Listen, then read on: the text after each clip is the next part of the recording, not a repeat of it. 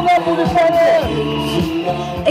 Българското американско шоу за първи път се среща със своите български почитатели. И макар събитието да имаше подчертано религиозен характер, тъй като силните мъже обясняваха, че са дълбоко вярващи, зрителите определено станаха свидетели на изключителна физическа сила.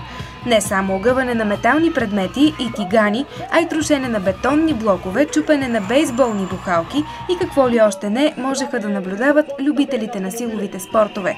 А най-важното, което американците се опитаха да покажат, е, че не физиката, а волята за успех и вярата ги правят толкова силни.